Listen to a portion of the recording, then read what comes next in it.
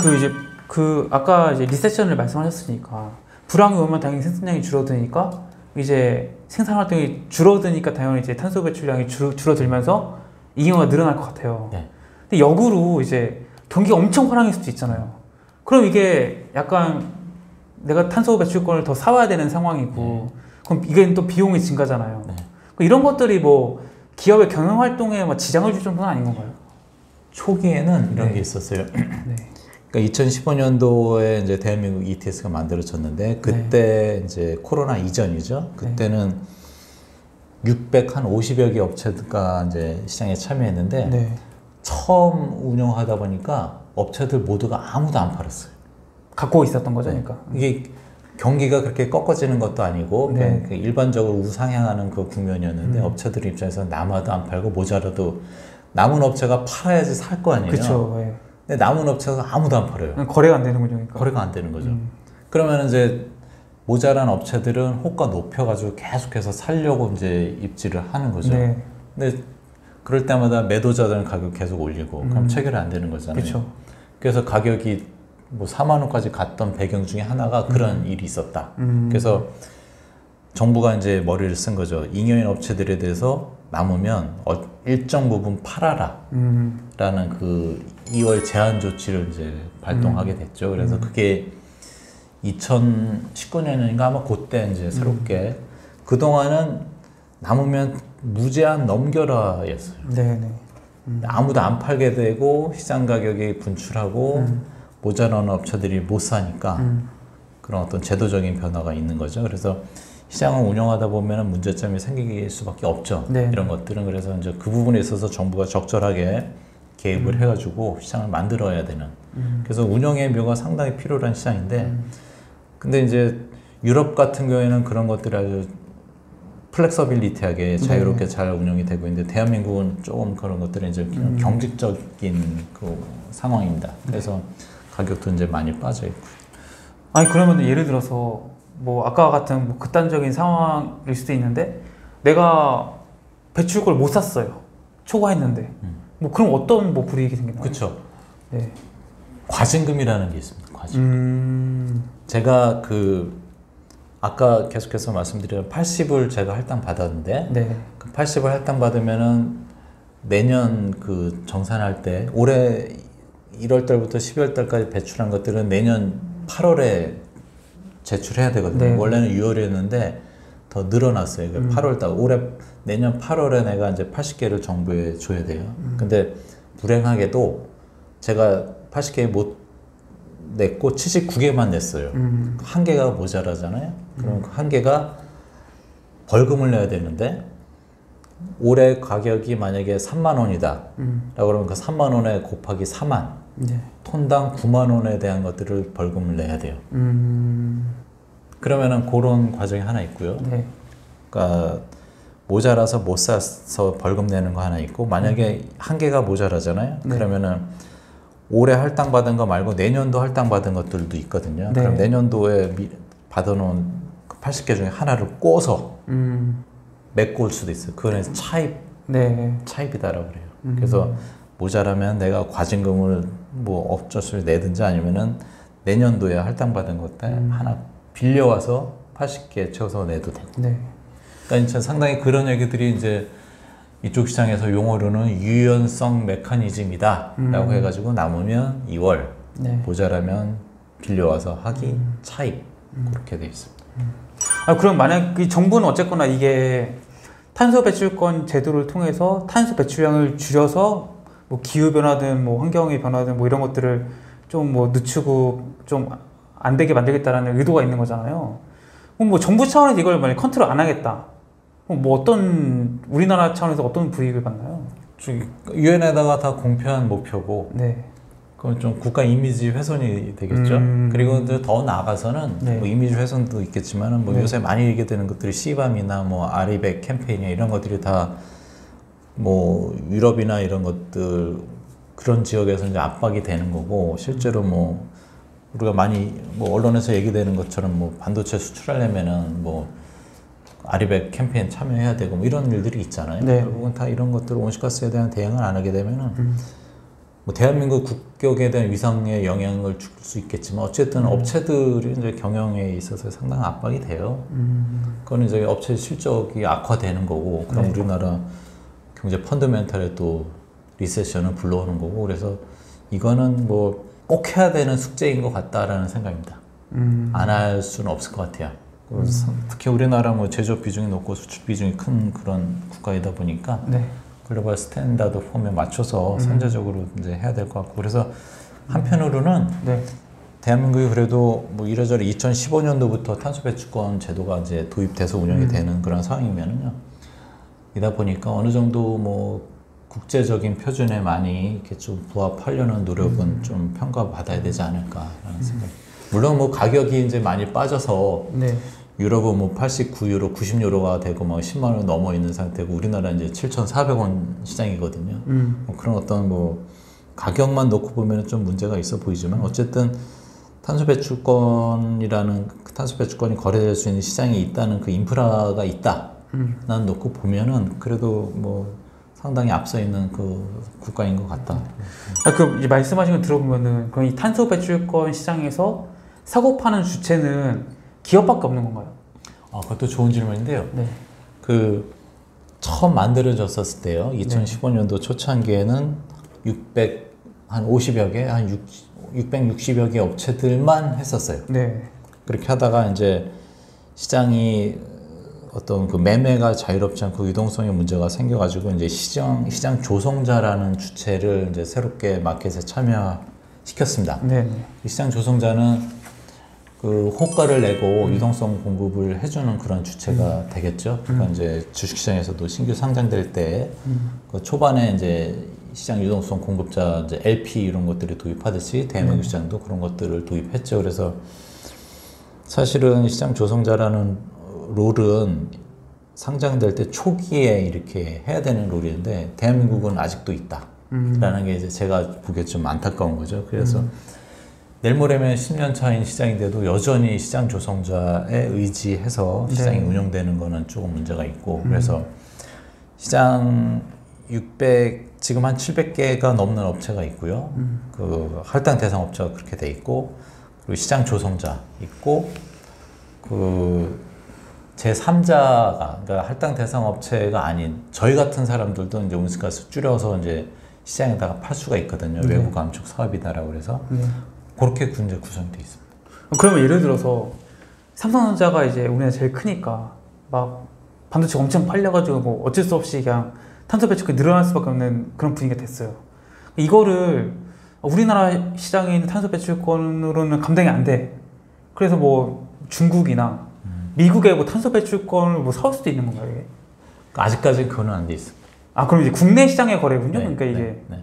국내에서만 어. 거래되고 있고 네. 그리고 또 나가서 말씀드리는 건 그 개인 투자자들이 이쪽 시장에 또 참여를 못하게 돼 있어요. 음, 음. 그래서 상당히 그 규모가 네. 폐쇄적이라고 그럴까요? 네. 상당히 그 시장 제한이 많은 그런 음. 상황이다. 그래서 global standard form에서 바라보게 되면은 음. 아마도 우리나라 시장도 이제 개인 투자자도 들어오고 음. 뭐 해외 업체들도 들어오게끔 이렇게 해야 되는 그런 상황이고요. 네. 유럽 같은 경우에는 저희도 이제 참여할 수 있는 그런 시장입니다.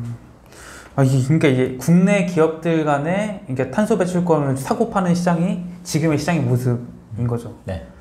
기, 기업들 입장에서는 이 탄소 배출권의 그 가격이나 뭐 이런 제도에 대해서 얼마나 중요하고 민감하게 생각하고 있는 건가요? 그것도 어쨌든 탄소 배출권 시장을 통해서 만들어내는 가격은 상당히 중요하죠. 네. 왜냐하면은 온실가스 줄일 수 있는 방법은 음. 모자라면은 제가 시장에서 사거나 네. 아니면은 우리 회사가 온실가스 배출을 줄일 수 있는 사업을 하거나 하거든요. 네, 그렇죠. 그러면 거기서 이제 탄소 배출권 가격이 만약에 톤당 뭐 만 원이라고 가정해요. 음. 그러면은 제가 우리 회사에 온실가스 줄일 수 있는 프로젝트 한 톤을 줄이는데 원가가 만약에 5천 원이에요. 네, 그러면은 그 프로젝트는 하겠죠. 하죠. 시장 가격보다 싸니까. 네, 그래서 5천 원짜리 프로젝트를 해서 탄소 하나를 얻어서 만 원에 파는 거거든요. 그렇죠. 그죠? 네, 그러니까 수익이 괜찮잖아요. 네, 네. 그러니까 이 가격이 어떻게 결정되느냐에 따라서 네. 우리 회사의 온실가스 프로젝트를 할지 말지가 결정되는 거예요. 음, 만약에 탄소 배출권 가격이 만약에 뭐 그막 천 원이 됐어요. 우리는 우리 회사의 온실가스 줄이는 거는 이제 톤당 5천 원인데 네. 그러면 나는 이 프로젝트 안 하고 시장에서 사는 거 그쵸. 그죠? 그래서 이게 탄소 배출권 가격이 온실가스 줄이는 프로젝트를 음. 견인한다. 네. 연동이 될 수 있다라는 음. 것이기 때문에 지금처럼 만약에 톤당 7,400원이 되게 되면은 어느 누구가 그 온실가스 줄이는 프로- 프로젝트를 하겠어요? 음. 시장에서 7,000원짜리 사고 말죠. 네. 그래서 가격이 네. 상당히 잘 만들어져야 돼요. 음. 그리고 유럽 같은 경우가 왜 저렇게 가격이 올라갔냐라는 네. 것들을 설명드리면은 네. 온실가스 줄이는 프로젝트들을 프로모션하기 위해서 일부러 가격을 올릴 수 있다라는 해석도 가능해요. 음. 왜냐하면은 그쪽 유럽 지역은 온실가스 줄이는 데 있어서 어느 정도 한계가 와 있거든요. 네. 그러니까 풍력도 어느 정도 다 한계가 있고 태양광도 그렇고 그러면 그 다음에 나올 수 있는 프로젝트가 탄소 포집 프로젝트거든요. 음. CCUS라고 그러는데 그 탄소 포집 프로젝트 원가가 상당히 높아요. 음. 그러니까 적어도 탄소 배출권 가격이 그 정도 돼야지 톤당 뭐 10만 원이 돼야지 얘 CCUS가 이제 10만 원이 초과되는 거거든요. 비슷하게 맞춰줘야지 이 CCUS에 대한 프로젝트에 대한 유인이 있는 거거든요. 그래서 시장 가격은 상당히 중요하다. 그러니까 이제 기업들이 이 탄소 배출권을 바라보는 시선은 뭔가 절대적인 수치를 줄여서 뭐 지구 온난화를 막고 뭐 기후 변화를 줄이고 이런 측면보다는 경영 활동 경영 활 경영 활동의 일환으로서 하나의 코스트로 접근을 하는 거군요. 둘 다로 보시면 돼요. 온실가스 줄이고 아니 약간 지속 가능 경영도 하고 뭐. 아니 말씀을 약간 명문 같아서 그건 약간 좀 이제 네. 어쩔 수 없이 하긴 하는데 이제 뭐 만 원을 들여서 줄이는 5천 원 주고 사겠다 이런 대답을 들으니까 이게 그냥 경 네. 그건 이제 한 면만 말씀드리는 거고 네, 뭐 네. 어쨌든 이거는 그 국, 국가 경영도 그러고 뭐 업체 경영도 그러고 여러 면에서 다 플러스 요인이 있고 그리고 또 안 하면 안 되는 음. 당장 뭐 수출에 영향을 줄 수 있는 것들이거든요. 시방 같은 네. 경우도 이제 그렇고 철강 쪽에 이제 영향을 받을 텐데 네. 그래서 뭐 미리 선제적으로 잘 준비해야 되지 않을까라는 생각입니다. 아 그럼 이게 최초의 탄소 배출권 가격은 있었을 거 아니에요?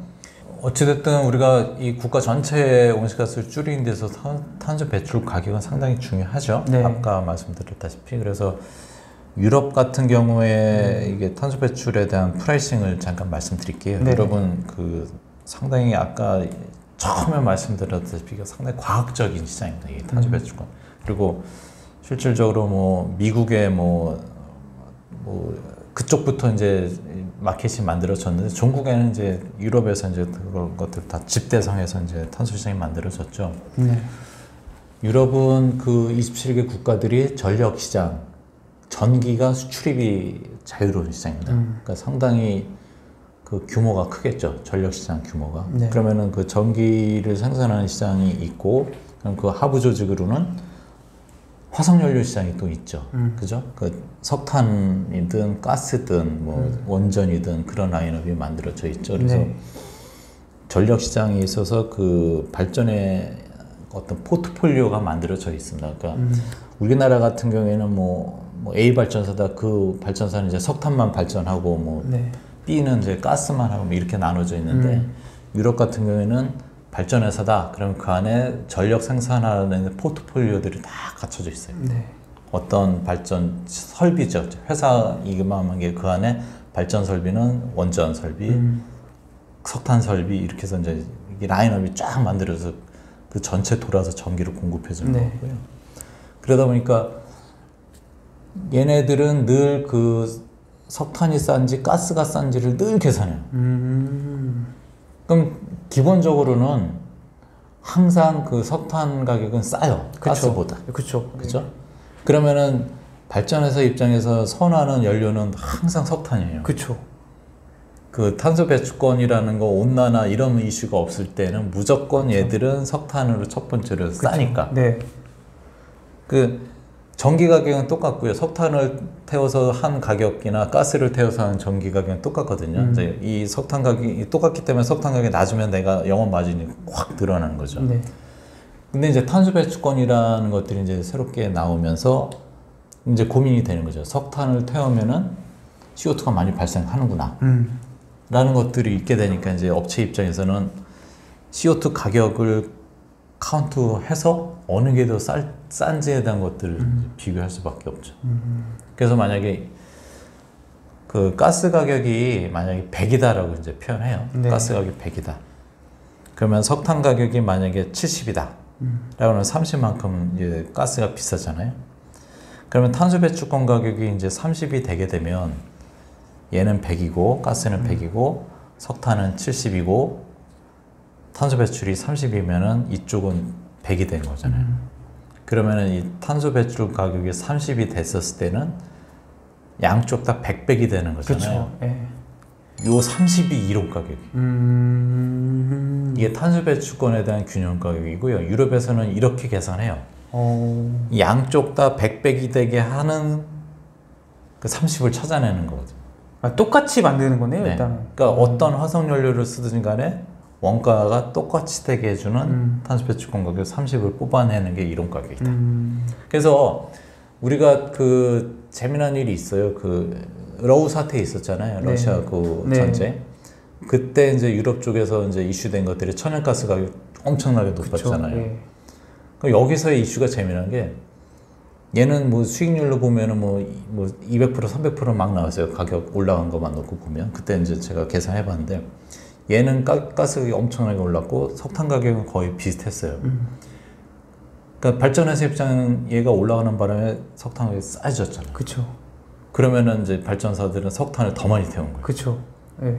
그래서 얘가 올라가 가지고 석탄에 대한 매수세가 있고 석탄에 대한 매수세가 있으면 탄소 배출권이 더 많이 늘어날 수 있다라는 그쵸. 그것 때문에 탄소 배출권에 대한 수요가 있고 음. 그래서 배출권 가격이 올라가는. 아. 그러니까 이게 직관적으로 생각하면 천연가스 네. 가격이 오르면 탄소 배출권 가격이 오른다라는 음. 일대일 관계이지만은 그 이면에는 상대적으로 가스 가격보다 석탄 가격이 싸기 때문에 석탄에 대한 매수세가 있고 음. 그로 인해서 탄소 배출권에 대한 수요가 증가해서 가격이 올랐다라는 그 루틴을 따라가면 돼요. 음. 그래서 이게 그 단순히 그 어떤 탄소 시장에 대한 수급만 바라볼 게 아니라 네. 에너지 전반에 대한 것들을 포트폴리오 차원에서 차액 거래에 대한 기회가 없게끔 해주는 게 탄소 배출권에 대한 이론 가격이 되죠. 음, 그래서 그렇게 합리적으로 가격이 된다 결정이. 음. 그래서 우리가 이쪽 시장을 바라볼 때 여러분들이 그 뭐 저기 ETF 탄소 배출권 ETF 이제 상장이 돼 있잖아요. 아마 작년 9월달에 상장이 돼 있는데 그때도 이제 유럽 배출권을 기초자산으로 한 ETF가 있고 뭐 유럽하고 뭐 캘리포니아하고 섞어서 한 ETF가 있고 그다 다르거든요. 그래서 이런 관점에서 ETF에 대한 투자도 하셔야 돼요. 그래서 사실은 유럽 쪽 베이스로 한 ETF를 그 투자한다라고 그러면은 유럽의 탄소 배출권 가격뿐만 아니라 유럽 시장의 전력, 석탄, 가스 가격에 대한 것들도 같이 보셔야 돼요. 음. 그것도 막 팁으로 말씀드리겠습니다. 아, 그, 예를 들어서, 최근에 이제 포스코 같은 경우에, 물론 철강업을 이제 안 하는 건 아니지만, 뭐 2차 전지주로서 시장에서 굉장히 주목을 받고 있잖아요. 그럼 일단은 내가 철강업으로서 그 탄소 배출권을 받았을 텐데, 만약에 그냥 극단적인 사례로 그냥 갔을 때, 철강을 포기하고 2차 전지로 갑자기 돌아섰다, 기업이. 업종 전환을 한 거죠. 그럼 이때는 어떻게 되는 거예요? 그러면은 그 할당 취소가 돼요. 아, 할 때 취소되는 네. 거예요? 그 회사가 운영하다가 이제 어떻게 부도나거나 없어지잖아요. 음. 그러면 그거 팔고 도망가면 안 되잖아요. 그쵸, 예. 부도나기 전에. 그러면 음. 이거 다 할당 취소가 돼요. 음. 그러니까 부도덕한 거 하면 안 됩니다. 아, 그- 할당 취소도 네. 있고 네. 새롭게 우리가 있는데 네. 뭐 새로운 설비가 또 들어왔어요. 그러면 음. 그 추가 할당도 있어요. 음. 그러니까 그 유연하게 다 돼 있어요. 음. 그래서 뭐 걱정 안 하셔도 돼요. 뭐꽉 막힌 제도는 아니네요. 그러니까. 네네네. 음. 아, 그럼 이제 개인 투자자들은 사실 이제 그냥 이 탄소 배출권 시장에 관심을 갖는 거는 뭐 내가 뭐 기후 변화 뭐 이런 거에 관심 있으신 분들은 갖겠지만 일반인들은 어쨌거나 이걸 투자로서 접근을 할 거란 말이죠. 일단은 개인 투자자들이 이걸 아까 말씀하셨지만 살 수는 없는 거잖아요. 그럼 뭐 투자할 수 있는 방법이 있다, 있긴 있나요? 어, 요 국내 단소 배출권 시장은 개인 투자자들 분은 이제 접근이 안 되고요. 음. 아까 좀 전에 말씀드렸다시피 그 ETF 쪽, 네. 어, 저기 거래소에 상장되어 있는 그게 이제 ETF가 있거든요. 네. 탄소 배출권 ETF, 유럽 뭐 해가지고 있습니다. 그 부분은 우리가 자유롭게 살 수가 있고, 음. 그래서 뭐 작년에 9월 30날인가요? 아마 그때 상장이 됐고, 그래서 연초에까지는 뭐 만원 만 원에 상장됐다가 만 오천 원까지 이제 네. 시세가 분출했었고 그 당시에 이제 러우 사태 터지면서 이제 가격이 많이 올랐죠. 천연가스 가격이 또 올랐고 그래 최근에는 좀 천연가스 가격이 안정화되고 그리고 뭐. 그 화성 천연가스에 대한 공급 라인도 여러 가지로 이제 유럽 애들이 이제 다 마련했기 때문에 좀 네. 천연가스 가격이 안정화되면서 탄소 배출권 가격도 조금 네. 하향 안정화가 돼 있는데 그렇게 급격히 떨어지진 않아요. 한 90유로대에서 이제 왔다 갔다 하고 있습니다. 아 근데 그 아까 뭐 처음에 말씀하셨지만 이게 뭐 정부에서 그냥 이제 정하는 거고 이제 이게 뭐 글로벌 연동도 아니고 그냥 개인 국내 시장이라고 하셨잖아요. 개인 아니고 국내 시장 하셨잖아요. 어 그럼 이게 내가 이거 샀는데 갑자기 정부가 배출권을 막 뿌려댈 수도 있는 거잖아요. 그래서 정책 리스크가 이제 상당히 크죠. 이쪽에 좀 탄소 배출권 시장에 이제 주의할 거는 네. 그 마켓이 그, 그러니까 그 외부성이라고 해서 시장 실패에 대한 가능성이 상당히 높은 시장이에요. 음. 그런 것들을 방, 방지역에서 이제 제도나 이런 정책적인 것들이 아주 상당히 강하게 support가 돼서 운영돼야 되는데 그런 네. 것들이 느슨하게 되면 이제 가격이 떨어지거나 막 그 변동성이 커지는 거죠. 그래서 이쪽 시장에 대비해서 투자하신다고 할 때는 네. 그 정책 그런 것들을 잘 보셔야 돼요. 음. 감축 목표가 어떻게 또 새롭게 수립되고 뭐 네. 어떤 그 뭐 RE100 운동이 좀 강화가 되거나 이런 것들에 대한 일련의 일들 그리고 경매 음. 시장에 대한 것들도 좀 보셔야 되고 그래서 주식시장 같은 경우에는 뭐 저퍼주, 뭐 PBR, 뭐 EPS 이런 거 따져서 이제 재무적인 것들에 대해서 미래 거를 지금 끌어다가 이제 평가하는 그런 좀 상당히 주관적인 그런 것들이 있지만 네. 이쪽 시장은 그래도 나름대로 그좀 순수한 시장 같아요. 음. 그러니까 주식 시장은 그 평가하는 데 있어서 상당히 자의적인 그쵸. 해석도 많죠. 예, 그죠? 어떻게 예. 하냐에 따라서 기간을 어떻게 네. 보냐에 따라서인데 이쪽 시장은 조금 그런 어떤 자의적인 해석보다는 음. 정부 정책만 잘 모니터링하고 에너지 시장만 잘 보면은 훨씬 쉬워요. 재무적인 지표를 안 봐도 된다. 음. 에너지 시장은 본질적으로 펀더멘탈에 대한 거잖아요. 네, 네. 이 탄소 배출권도 에너지 연장선상에서 파급된 그런 시장이다 음. 보니까 뭐 우리가 뭐 삼성전자 재무제표 보고 막그 공부하듯이 그런 거는 안 해도 된다. 네. 경, 경기 펀드멘탈만 잘 보고 음. 에너지 가격에 대한 거, 뭐 전쟁 있는 거 이런 것들만 잘 보면 훨씬 더 네. 주식시장 쪽에 공부하는 그 공수보다도 좀 덜 들어갈 것 같아요. 음. 그래서 그 부분은 좀 메리트가 있는 것 같고 그리고 상당히 마켓이 어떤 왜곡되거나 그렇지가 않아요. 아, 방향성 한번 딱 잡으면은 음. 그 방향대로 이제 밀고 가는 그런 것들 어떤 강건성이라고 그럴까요? 어떤 뭐 가격 그좀 탄탄한 움직임을 보이게 해요. 그러니까 날가 막 왔다 갔다 막 하면서 그런 시장은 아니다. 그러니까 뭐 말씀하신 리스크는 이런 거죠. 그러니까 뭐 우리가 뭐 몇 년도까지 몇 퍼센트를 감축하고 했는데 이 기간이 갑자기 늘어나거나 감축하려는 양이 갑자기 줄어들거나 이런 게 리스크라는 말씀이신 거죠? 그것도 뭐 한편의 리스크고요. 제일 큰 거는 뭐 러우 사태 때 경험했듯이 그 에너지장 쪽에 샥이 왔었을 때 음. 천연가스 가격이 확 튀었을 때 네. 그때가 사실은 탄소 배출권 딱 들어가기 이제 적기였죠. 음. 그래서 그 부분도 가- 우리가 이제 에너지 시장하고 연동돼 있다라고 좀 미리 아시는 분들은 아마 들어갔던 분들도 계시고 그래서 강조하지만은 탄소 배출권 시장은 에너지 시장이다. 라고 에너지 상품 시장이다. 그러니까 코모디티 중에 이제 에너지 상품으로 볼 수 있습니다. 아, 그럼 이제 그런 전체적 리스크를 감수하고서라도 투자할 만한 그 장밋빛 미래 아, 뭐 이런 것들이 혹시 있나요? 일단은 감축 목표들이 다 뭐 2050년까지 탄소 중립, 뭐 넷제로 뭐 이런 얘기가 있는 거거든요. 네. 그러니까 주식시장에서는 우리가 오늘 들어갔다가 아침에 들어갔다 오후에 막 나오고 막 이러잖아요. 음. 이렇게 쇼텀으로 이제 하는데 이쪽 시장은 좀 묵직한 시장이라고 보시면 돼요. 음. 물리더라도 음. 들어가는데 물리더라도 그냥 꾹 참고 네. 뭐 물리면 이제 뭐 아들 딸들한테 줘도 되는 시장인 것 같아요. 그래서 저는 물렸다라고 해서 이제 손절하고 나오지 말고 네. 그냥 쭉 꾸준히 왜냐면은 유럽 같은 경우도 보면은요 그 적정한 가격 자기네들이 그 생각하고 있는 하단에 대한 가격들이 다 있어요. 음. 뭐 힌트를 말씀드리면은 적어도 그 독일 독일에서 바라보고 있는 탄소 배출권에 대한 유럽의 하단은 톤당 60유로입니다. 음. 그러니까 지금 출렁거리다가 60유로 근사 근방에 오면은 매도를 아 저기 매입을 세게 하셔도 돼요. 왜냐면은 음. 이 이하로 떨어지게 되면은 유럽에서 독일에서는 어떤 그 하단에 대한 것들을 막을 그. 조치들을 다 갖고 있다는 얘기고 네.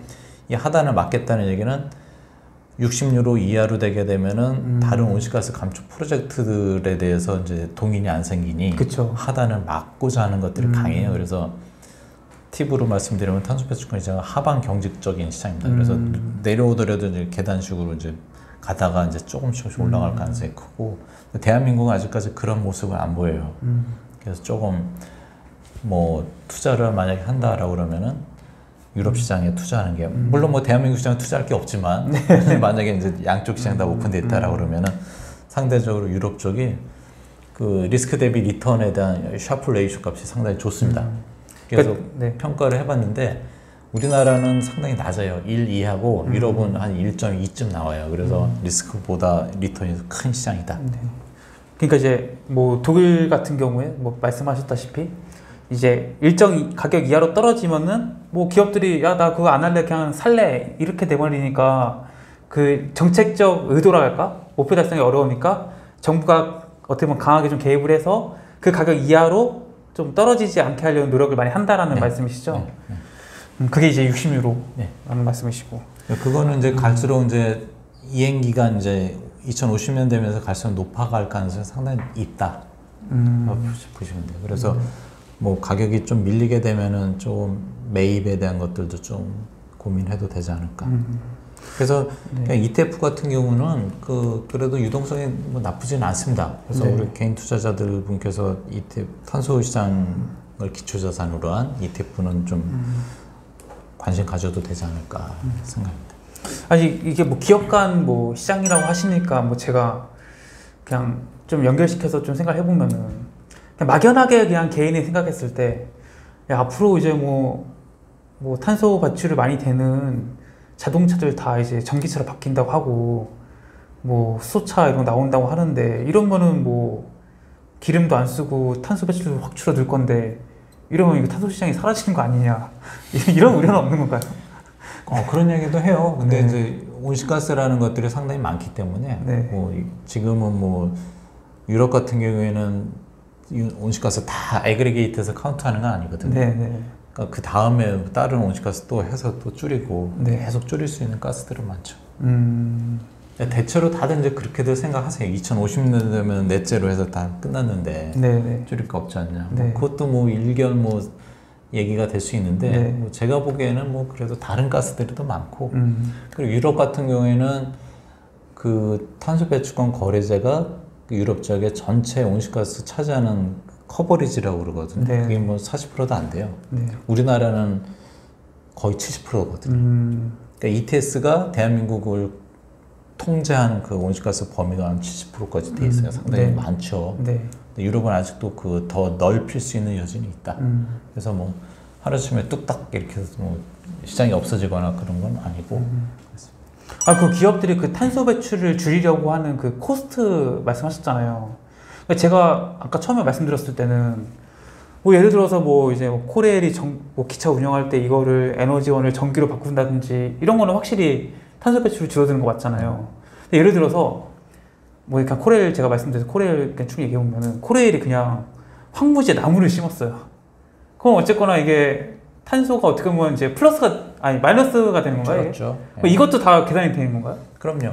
그 RED라고 해서 이제 산림 그러니까 조림 쪽 사업인데 네. 그 그것도 이제 나무 수종에 따라서 음, 그 나무 연령에 따라서 네네. 이제 흡수하는 것들이 다 다르고 음. 그래서 그런 것들도 다 그 RED 그런 그 기준이 다 있어요. 네. 그래서 실제로 뭐 업체들은 일할 수 있거든요. 석유화학 업종은 이제 제가 알기로는 온실가스를 줄일 수 있는 게 없대요. 네, 그렇죠. 완벽하게 이제 옛날부터 계속해서 해와가지고 이제 공장 가동률 줄이는 거 말고는 음, 없다. 음. 여기 뭐 생산 과정에 있어서 뭔가를 이렇게 뭐 프로젝트 투자해가지고 할 수 있는 건 없고 그러다 네. 보니까 이제 나무 심기를 할 수도 있거든요. 음, 그러면은 배출은 배출대로 하고 네, 나무 심어서 이제 줄이는 것하고 해서 이제 상계가 되는 거. 오. 얘는 배출 뭐 100을 하는데 CO2 여기 조림해서 네. 뭐 100을 흡수했다. 네. 그럼 넷제로가 되는 거거든요. 음. 그러니까 그런 제3의 사업을 또 하긴 해야 돼요. 음. 그러면서 이제 전체적으로 줄이는 거죠. 그러면 업체 입장에서는 온실가스 안 줄이는 대신에 네. 다른 쪽 상세 프로젝트를 통해서 이제 줄여서 상계시키는 음. 그것도 가능하고 그렇습니다. 이제 그 대표님께서 이제 탄소 배출권에 대한 더 자세한 얘기들을 다양한 채널에서 말씀하고 계시잖아요. 네. 일단 뭐 어디서 좀 만날 수 있을까요? 저희 그 나무 ENR 홈페이지도 있고요. 나무 ENR 이 운영하는 그 유튜브도 있고 그리고 또 예전에 뭐 3프로 TV도 뭐 나가서 탄소 배출권에 대한 전반적인 얘기한 것도 있고 네. 그리고 또 그 네이버에서 하는 뭐 한국경제 기고글이 있거든요. 그래서 네. 한국경제 어, 거기 저기 네이버에 이제 서치할 때 한국경제 김태선 탄소 배출권 치면은 제가 기고했던 글도 나오고 그래서 여담입니다만은 제가 책을 썼더니 그 독자분 중에 한 분이 그 문자를 주셨어요. 네네. 책 중에 본론보다 그 부록에 있는 한국경제 기고글 내용이 더 좋다. 게 있었어요. 그래서 네. 그 기고글은 제가 2년 2년부터 쓴 기고글이에요. 그래서 마켓에 어떤 샥이 있거나 음. 그리고 투자자들이 알아야 되는 것들 그런 마켓에 어떤 중요한 이슈가 있었을 때마다 그리고 이제 마켓이 바로 가야 되는데 자꾸 이제 이상하게 이제 흘러가게 되거든요. 음. 어떤 그 어떤 뭐, 뭐, 뭐 뭔가 있겠죠. 그래서 네. 그런 것들을 좀 바로잡고자 이제 기고글을 쓰기 시작했고 네. 그래서 아마 정책 당국도 제가 알기로는 그 기고글은 계속해서 보고 있고 음. 어, 시장 참여자들은 전부 다 보고 있고 그래서 네. 그런 것들이 좀 많이 저 말고도 언론사에서도 많이 해야 될 것 같아요. 음, 알겠습니다. 끝으로 이제 구독자분들에게 해주고 싶은 말. 네. 어떻게 그 주식만 하시지 마시고요. 탄소 배출권 시장에 대해서 관심 갖고 또 뭐 에너지 시장에 대한 것들도 이제 관심 갖게 되면 ETF들이 상당히 많거든요. 그래서 그뭐 원유도 있고 뭐 구리도 있고 상당히 많아요. 그래서 네. 제가 뭐 금융공학 하면서 채권도 하고 달러 원 달러도 하고 주식도 하고 원자재도 다 해봤는데 제일 재미난 게 그래도 이제 원자재 에너지 쪽이 재미난 것 같아요. 음. 천연가스 시장도 아주 변동성이 상당히 큽니다. 네. 우리 그 개인 투자자들 분들 변동성 좋아하시잖아요. 안 돼요? 네. 변동성 높아가지고 네. 비트코인처럼 이렇게 네. 그 정도는 아니더라도 음. 그래도 어떻게 실물이 있고 그런 상황이니까 비트코인보다는 오히려 에너지 쪽, 뭐 음. 이게 화석 연료 시장 쪽, 뭐 이런 쪽 많이 관심 가지면 좋을 것 같습니다. 네. 그래서 오늘은 이제 탄소 시장 인베스트의 저자 김태선 대표님 모시고 이야기 나눠봤습니다. 오늘 좋은 말씀 감사하고요. 영상 봐주신 구독자분들도 고맙습니다. 감사합니다. 네, 고맙습니다.